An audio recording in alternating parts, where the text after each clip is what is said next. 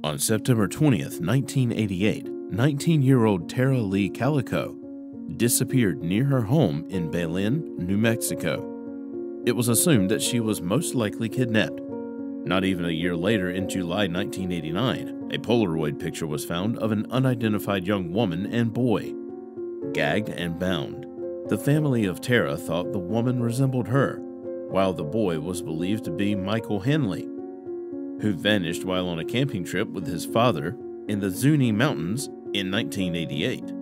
Both of these people were never found, forcing this case to remain a mystery forever.